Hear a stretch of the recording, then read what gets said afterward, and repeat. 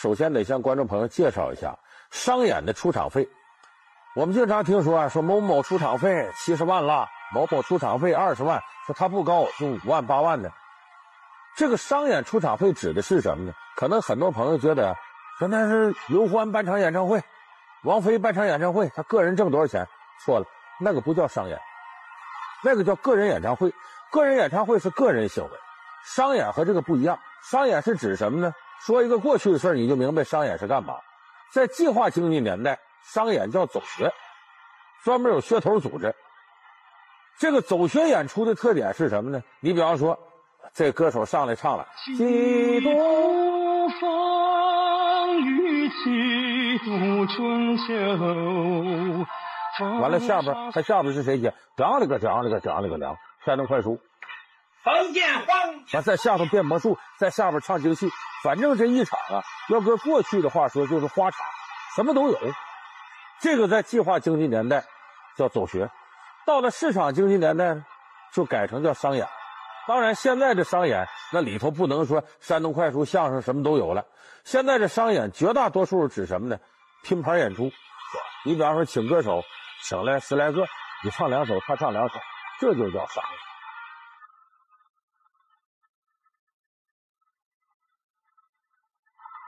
所以，一般对歌手来说呢，商演是什么呢？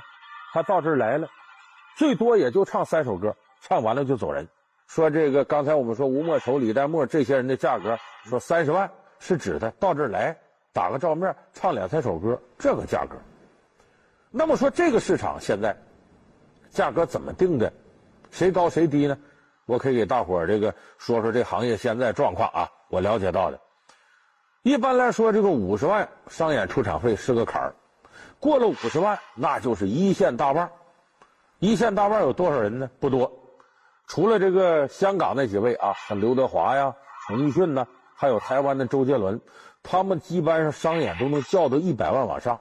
咱们说大陆这块呢，呃，一般来说，刘欢、那英，像孙楠，呃，还有韩红、凤凰传奇、李玉刚、汪峰。张靓颖，哎，这些都是出场费五十万以上的这个线的，咱们管那叫一线歌手。是不最近《中国好声音》一火呢？刘欢的出场费一百万往上，那英也到这个线了。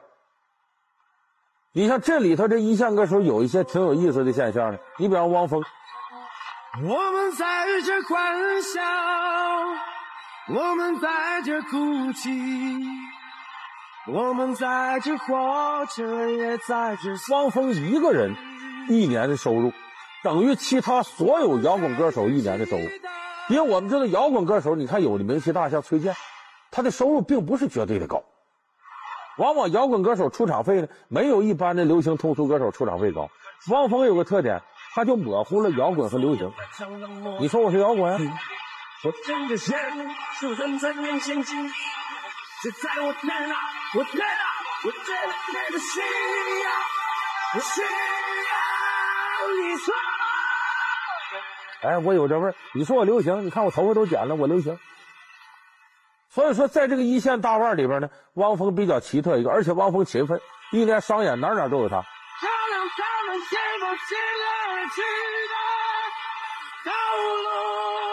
汪峰演出收入高的原因很简单，有拿得出手的作品。出道十七年来，他完成了九张专辑，一百三十首歌曲，所有词曲一手包办，保持了平均一年半一张专辑的创作速度。十八首年度金曲，十次最佳专辑，十三场大型个人演唱会，共计一百万歌迷现场观看。同时，他的音乐风格融合了摇滚的狂放和流行的旋律。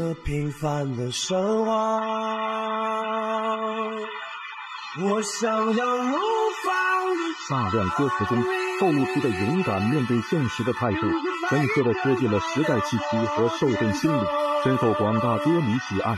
也得到演出商的积极追捧，因此，在汪峰商演价格节节攀升至五十万元每场的前提下，大量的演出造就的高收入，也就是合情合理的结果。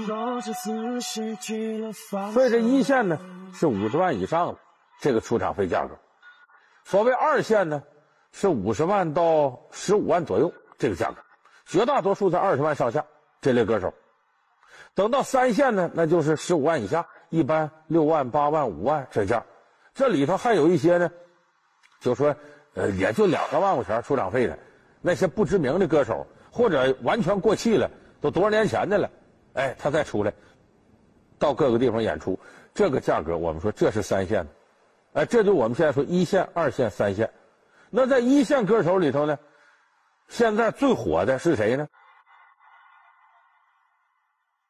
有人说那不刘欢那那不是，刘欢也不怎么接商演。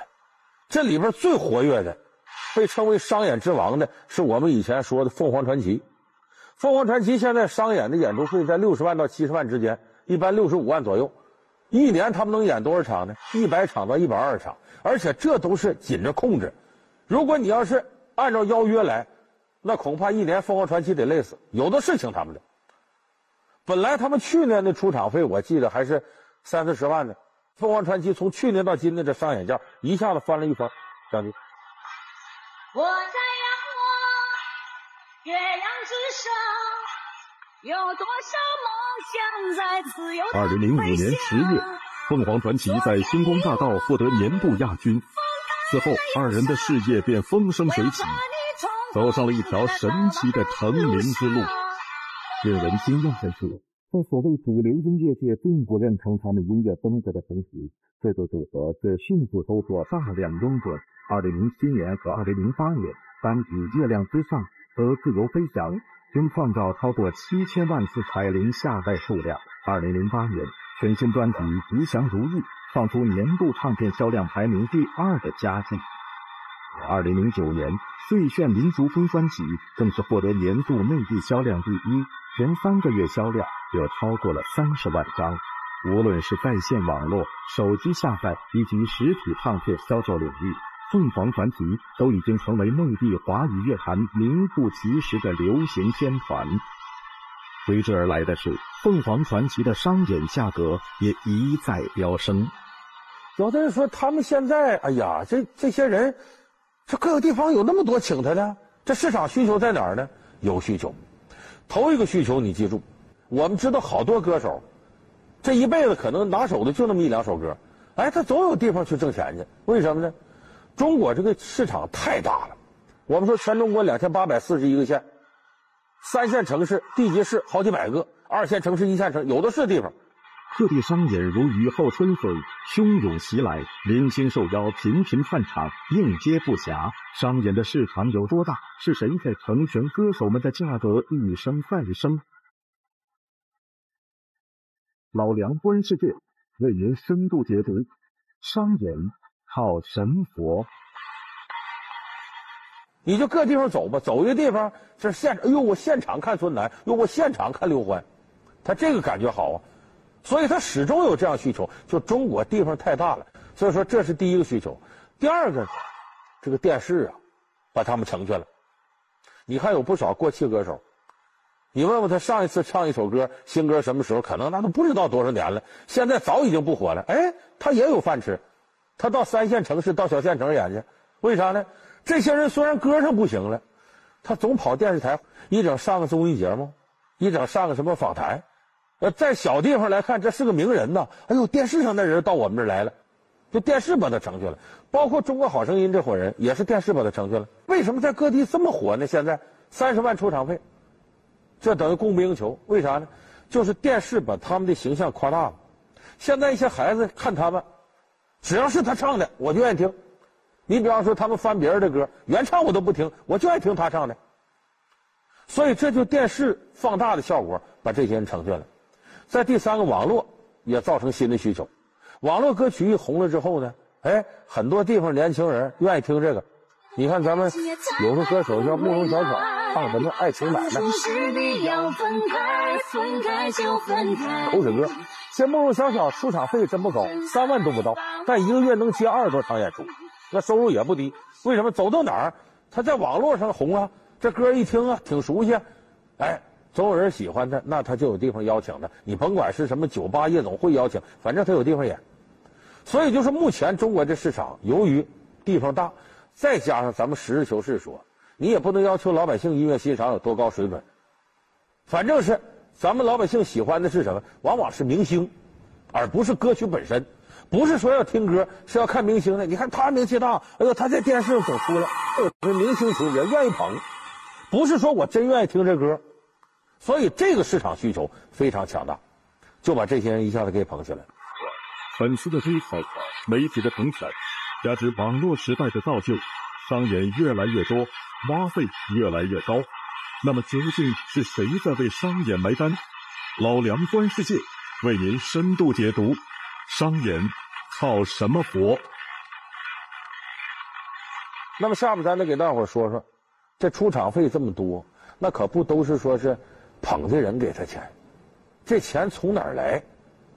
这就得说商演的钱是谁来出？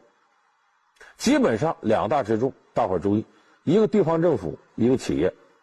咱们先说这地方政府，一线二线的歌手，经常跑的场子，往往就是地方政府举办的。什么呢？咱们都知道某个地方，西花节、啤酒节、服装节、音乐节、牡丹节，地方政府要招商引资，招商引资要宣传扩大地方形象，最好的方式什么呢？就办一场演唱会。再一个，都渴望这事儿跟电视台挂钩。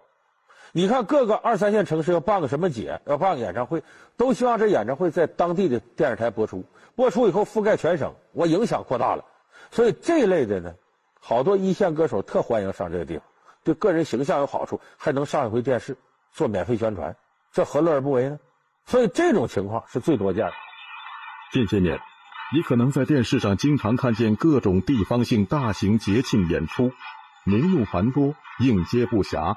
二零一一年十二月，新华网发表的评论文章中称：“大到服装节、旅游节、民歌节，小到樱桃节、柿子节、蔬菜节。”据报道，仅贵州省某地一年冠以“中国”名称的节会就有十多个，请歌星出场费、搭舞台，一次就耗资几十万元。这笔钱通常由地方政府和本地企业共同承担。但出了大价钱的政府和企业却并不觉得冤，原因很简单：地方政府要推介本地的资源与成绩，企业则愿意展现自己在当地的位置和实力。二零零八年一月二十九日，国家发改委等九部委联合发文，严禁政府有关部门及其所属事业单位用公款邀请演艺明星、大办节庆。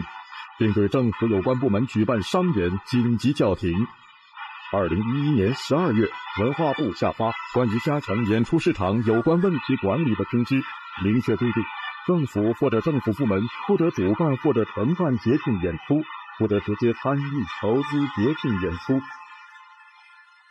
选秀歌手身价一夜暴涨，出场费动辄数十万，究竟是谁在埋单？一两位一线大腕。三四名二线明星，若干个三流歌手，如此搭救的商演阵容，如何在庞大的市场中练就吸金大法？老梁观世界为您深度解读：商演靠什么活？第二类，那就是企业拿钱。有一种是什么呢？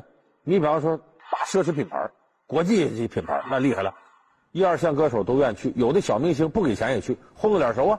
抬升自己品位，再有的就是企业呢，新产品发布会、企业的年会、企业的答谢宴会，或者说就是为了啊扩大某种影响，我搞一场演唱会。